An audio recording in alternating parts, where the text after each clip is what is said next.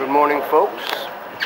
Saturday, the 22nd of September, 2012. We're on site on tour, the South Florida Central, South Florida Railway Museum. CRS members all the way around the building, taking a look at everything they've been able to do.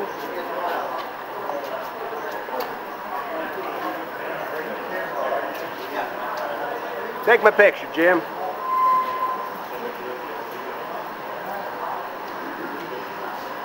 All aboard. Who's Mikey with?